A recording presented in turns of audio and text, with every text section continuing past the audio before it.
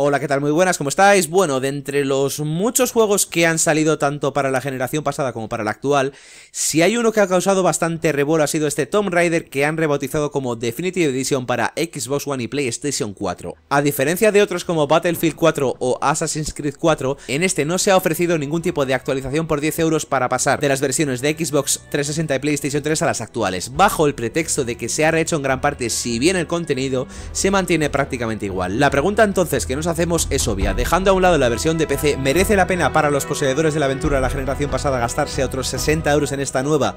Vamos a intentar responder jugando una parte del comienzo del juego, analizando partes jugables y gráficas. Esta es la parte inicial del juego, así que no temáis por spoilers, cubriendo exactamente desde el 2% hasta el 7% de la aventura completa, editado para mostrar ciertas partes en particular. Así que nada, allá vamos. Acabamos de salir de la cueva del principio del juego, como digo, esto es el principio, apenas llevamos un 2% y bueno, a nivel técnico el juego va a 1080p, por supuesto. Va a 30 frames en Xbox One y a un poquito más en PlayStation 4, aunque bueno, cambia entre 40 y 60, lo cual puede ser un poco molesto. En Xbox One va a 30 frames constantes. Y bueno, es evidente que el mayor cambio tiene que ser a nivel gráfico porque a nivel jugable no esperamos gran cosa, por mucho que hayan prometido que se han cambiado ciertas cosas, por lo que hemos podido ver es básicamente lo mismo y bueno, realmente vamos a ir viendo poco a poco lo que cambia. Lo primero a simple vista es que el modelado de Lara Croft es bastante mejor, bastante superior, mucho más detallado. Tiene también el tema del 3FX, este famoso efecto gráfico del pelo que, bueno, hace que se comporte de manera bastante realista. Esto lo veremos mejor en algunas escenas más adelante, pero bueno, ya se puede ver el cambio, que la verdad queda muy chulo. Esto también está en la versión de PC, ¿vale? Yo tengo que decir que no he jugado a la versión de PC, así que no puedo compararlas directamente, pero bueno, por lo que he visto en vídeos e imágenes es más o menos esto. Hay una evidente mejora en el follaje también Se ve bastante más detallado El tema de las hierbas, de los árboles, de las hojas No es que esté a un nivel escandaloso Pero bueno, se ve bastante bien Bastante bien Quizá le falta detalle a nivel de poligonaje Realmente no parece que haya gran salto en ese aspecto, ¿no? Las texturas tampoco parecen ser gran cosa Pero bueno, sí que tiene ciertos detalles interesantes Está claro que en YouTube pierde calidad, pero bueno Desde luego lo que más cambia, lo que más mejora es el tema del modelado de Lara Croft Y la cara, que ha cambiado bastante la cara me parece... Parecía un poco más guapa, la verdad, la versión de 360 de PlayStation 3. Aquí la han cambiado un poco. Pero bueno, sin más, pequeños cambios. Mucho más detalladas, es verdad. Pero como digo, eso se verá mejor en las escenas. A nivel de animaciones también parece que mejora un poco. Es lo que han prometido. Esto es complicado de ver si no haces una comparación cara a cara, pero bueno. También los efectos de agua y eso. Es cierto que que está bastante por delante Pero bueno, a nivel de escenarios y eso Cantidad de polígonos no parece que esté muy, muy, muy, muy detallado Lo mejor, sin lugar a dudas, Lara Croft de largo De largo y bueno, este juego en Xbox One a nivel de exclusiva también tiene comandos de voz gracias a Kinect Así que vamos a probarlos Voy a intentar abrir el mapa con Kinect Después de esta pequeña parte Y para ello tengo que decir a Kinect, que me está escuchando Mostrar mapa y aparece el mapa. ¿Qué pasa? Que bueno, no creo que esto tenga mucho sentido que pueda añadirle un valor importante porque esto se puede hacer también con, no sé si con un botón, pero sí con un par de botones. Pero bueno, oye, pequeñas cosillas para darle un valor que quizá no es muy importante, pero bueno, ahí está. En PlayStation 4 sé que tiene algún tipo de, de característica del tema de la luz del mando, que bueno, es también poca cosa, pero bueno, por intentar, como digo, darle algo más de gracia al asunto.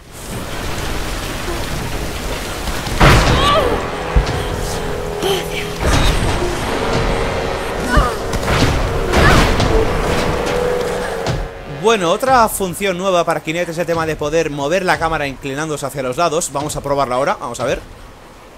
Pues sí Es un poco tontería, pero bueno, si te mueves tú, si te inclinas tú, la cámara se mueve, como digo Valor añadido sin ningún tipo de gracia, pero bueno, ahí está, sin más, ahí está Sin más, te inclinas tú y la cámara se mueve contigo Y como digo, pues, sin más. No es que tenga mucha gracia, pero bueno, ahí están estas mejoras. Vamos a seguir jugando, que francamente es un poco absurdo esto el tema de las cámaras con Kinect solo se puede hacer en ciertos momentos, ¿vale? No es durante todo el juego.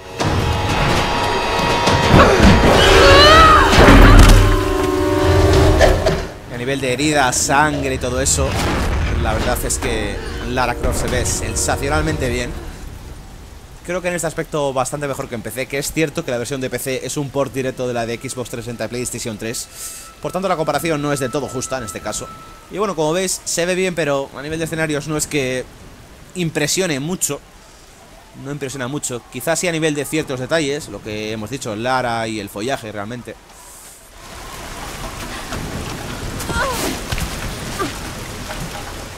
Sí, las animaciones se ven fluidas, se ven bien, pero no parece que haya tampoco mucha mejora respecto a, a PlayStation 3 y Xbox 360, francamente. Y aquí es donde más se puede apreciar el cambio. Las escenas con Lara. Que la verdad es que es impresionante aquí también. El detalle de la maleta, de la mochila.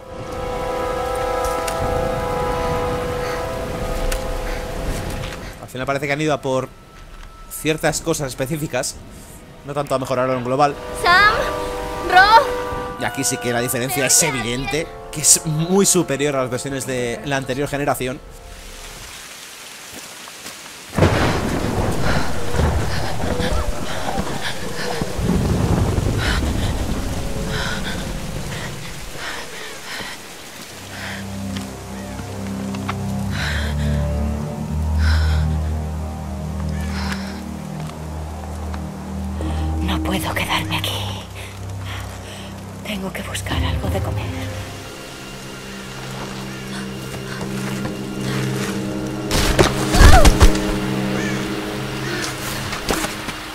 La verdad es que la pobre Lara sufre mucho a lo largo del juego, como bien sabéis todo el mundo que haya jugado a este juego. Ya tenemos el arco.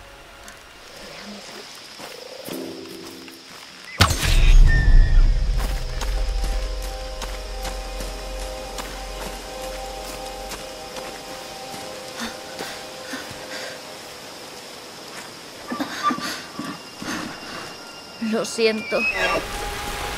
Hola. Hola. ¿Hay alguien ahí?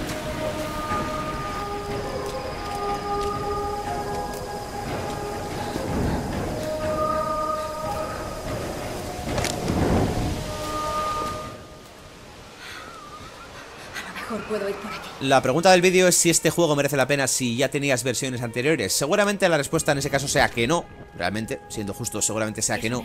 Ahora, si la pregunta es si merece la pena este Tomb Raider Definitive Edition si no tienes versiones anteriores, la respuesta es sí, radicalmente sí, porque para mí es uno de los mejores juegos de los últimos años, sin lugar a dudas, y me sorprendió un montón, y no soy ni mucho menos fan de la saga, pero me pareció impresionante a todos los niveles. Claro, está, está la versión de PC, que es quizá un poco inferior porque es un port directo, como digo, de, de las consolas antiguas. Pero bueno, es mucho más barato, ahí ya depende de, de lo que prefiera cada uno. Pero si no tienes un buen PC para jugar, creo que esta versión de Xbox One y PlayStation 4 es una grandísima opción. Y yo realmente se lo recomiendo absolutamente a todo el mundo. Y una de las mejoras que tenía la versión de Xbox One en exclusiva era el tema de poder examinar las reliquias usando Kinect, usando nuestra mano. Vamos a probarlo, que ya tengo una. Vamos a ver si la encuentro. Mm. Aquí está. Y en teoría con la mano podemos mover esta reliquia para examinarla. Vamos a probarlo. Pongo la mano aquí, la cierro. Exacto. Y ahora la muevo como si la tuviera cogida con la mano. Un poco estúpido. Se puede también acercar y alejar si no recuerdo mal. Aunque ahora ya no funciona, por ejemplo. Vamos a ver ahora. Ahora sí, de nuevo, pero... Y deja de funcionar, francamente. Francamente, chicos, para hacer algo así, no lo hagáis. Bueno, pues eso, cuando quiere funciona, cuando quiere no. No es que sea, desde luego, muy fiable. Es curioso, pero poco más. Curioso, pero poco más. Se puede acercar, se puede alejar, pero no es que funcione muy bien. Os puedo asegurar que no, no es que funcione muy bien. Esto, repito, se hace con la mano, como si tuvieras tú el objeto en la mano, pero vamos, que una tontería... Que, hombre, se puede agradecer el intento, pero no es que, desde luego, pueda justificar en, en ningún caso el cambio de una versión a otra. También se puede ver que a nivel de, bueno, efectos climatológicos, el viento, las hojas volando y demás, pues bueno, está bastante mejor. Como digo, son cosas muy puntuales. Cosas puntuales, no es que sea una mejora global. Pero bueno, sí queda bastante bien el pego. Sin ser nada del otro mundo. Lo que sí que no hay es ningún tipo de interacción entre el follaje y Lara. Fijaos en que no lo hay. Lo atraviesa sin ningún tipo de problema.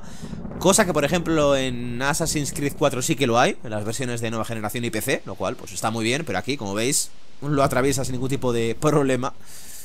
Así que ahí queda. Ese feo detalle. ¡Oh, lobos! Voy a llevarles hasta Whitman. La inteligencia no es que sea gran cosa, por lo que veo. Ahí vienen. ¿Venís o no venís? Me estabais atacando y ¿por qué no venís ahora? Os voy a dañar, vale Ahí está Vamos a ver qué hacen aquí A ver si han mejorado algo esto No Aquí hay un muro invisible, fijaos, eh A ver si viene Ven, ven, ven Ah, le he matado al pobre Son detalles muy feos De aquí no pasa, os lo puedo asegurar No pasaba en la versión anterior y aquí tampoco. Había uno por aquí Se ha escondido. Decían que había mejorado la inteligencia artificial también Me gustaría verlo Igual es solo de enemigos humanos No lo sé, pero bueno. Son pequeños detalles que no es que estén muy bien cuidados Porque quedan muy falsos. Vamos a poner más apuros a este juego. Vamos a ver esa mejora de animaciones que habían prometido. Vamos a ir por aquí. Ahem. No Lara, así no se anda por una estatua En horizontal Me temo que no Me temo que no y claro, habían prometido el oro y el moro a nivel de hemos cambiado todas las animaciones, hemos perfeccionado todo. Pues hombre, a la primera que intentas ponerle en apuros, no es que quede muy bien, desde luego esto. Y creo que es necesario decirlo. Porque están cobrando de nuevo 60 euros por este juego, así que creo que por algo debería ser. Y de momento no es que... No es que lo estén demostrando. O no es que estén demostrando que merezca la pena. Una de las cosas que más me gustaron de Tomb Raider fue el tema de la mejora de armas y habilidades, que está muy bien llevado. Aquí hay enemigos cerca según esto, vamos a ver. Deberían ser lobos, no los veo. Ahora sí. Esto es igual que la versión anterior, pero bueno, creo que merece la pena comentarlo o recordarlo. Así que tenemos restos para mejorar en este caso el pico cosa que hayamos hecho. Esto es bastante completo, la verdad. Es sencillo, pero bueno, bastante completo. Tiene muchas variantes y está realmente bien el tema de las habilidades y mejoras de armas. A mí me gustó muchísimo. Y ya tenemos el pico mejorado que nos sirve pues, para abrir ciertas cosas que no podíamos abrir antes, sin más. El reino perdido. Parece que el modelado de Lara es bastante mejor que el de los demás. Tiene toda la pinta. Y ya no solo por el atractivo que pueda tener el personaje a nivel objetivo.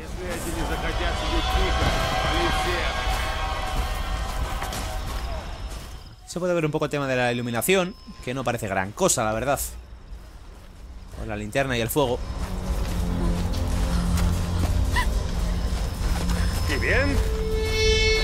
Hombre, está bien. Luce bien. El fuego está bastante mejor. Más detallado. Pero tampoco es ningún escándalo.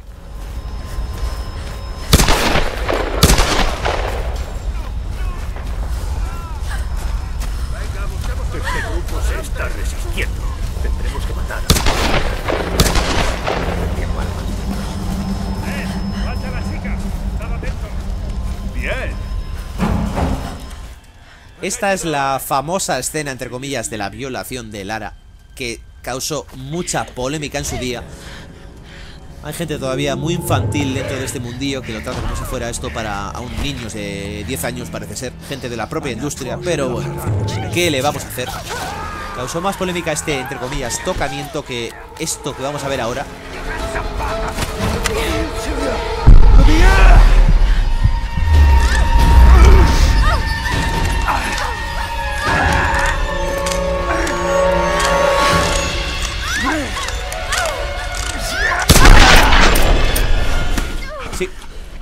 Que volarle la cabeza a este enemigo causó más polémica que le tocara que le tocara un poco el torso. En fin, así es la vida. Aquí entrábamos en combate por primera vez. A ver si podemos ver algo del tema de la mejora de la inteligencia artificial. Vamos a ver. Está en nivel difícil, ¿vale? Que quede claro. Y a ver si podemos ver algo ya. Que bueno, como digo, no estaba mal anteriormente Era normalita Pero bueno, no era especialmente mala Pero bueno, también han dicho que lo han mejorado Vamos a ver si podemos ver algo de eso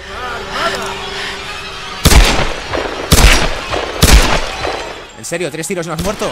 ¿Cuatro? ¿Cinco? ¿En serio? En fin. Ahora sí, ¿no? Vamos a ver, a ver si puedo jugar con él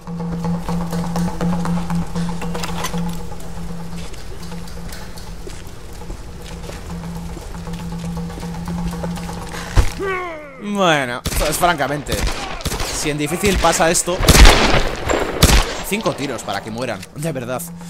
Como veis, hombre Yo estaba así. No creo que sea muy difícil que me hubiera visto, ¿no? Así que nada Si a la primera le pongo en apuros y me sale con esto Mal asunto. Que bueno, como digo, no es que sea peor que la media Pero vamos Me juego al cuello a que no ha mejorado absolutamente nada. Vamos Lo firmo Por mucho que como digo hayan dicho tal y cual Vale, en teoría con Kinect también podemos cambiar de arma Diciendo el nombre que queremos elegir. Así que allá vamos. Pistola. Pues sí, cambia, pero De repente Me aparece otro comando de la consola. El tema de Kinect Pueden decir mis a los de Microsoft que no funciona bien Porque te abre a veces menús contextuales que no tienen ningún tipo de sentido Y que si, por ejemplo, estás jugando online Te pueden mosquear y mucho. Arco Sí, funciona, pero bueno, esto se hace con una tecla, ¿vale? Arriba, abajo, izquierda, derecha, con la cruceta analógica Así que tampoco tiene ningún sentido.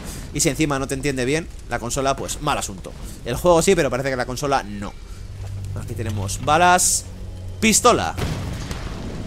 Ahora, por ejemplo, no me ha entendido. Voy a volver a probar. Pistola. Ahora sí. Pues eso, realmente merece la pena algo que sea así Pues no es cierto que yo estoy hablando y claro, la consola se puede volver loca porque estoy comentando el juego Pero bueno, realmente no, no tiene pinta de que siempre vaya a funcionar bien, ni mucho menos Ni mucho menos Y mucho menos si haces un vídeo comentado como es mi caso Eso es cierto que, que es complicado, ¿vale? Las cosas como son, pero bueno No creo que sea algo que merezca mucho la pena Pistola ¡Necesito ayuda! Mm. ¿Todo bien? ¡Oh! Bueno, a menos de un tiro caen Si están bajando Ahora el juego me pausa, no sé por qué. Temas de Kinect, repito, jugar con Kinect encendido si estás haciendo un vídeo comentado es una locura, porque pasan cosas muy raras. No es que haya pasado yo con el, con el mando, os puedo asegurar. A ver qué, ¿vienes o no vienes?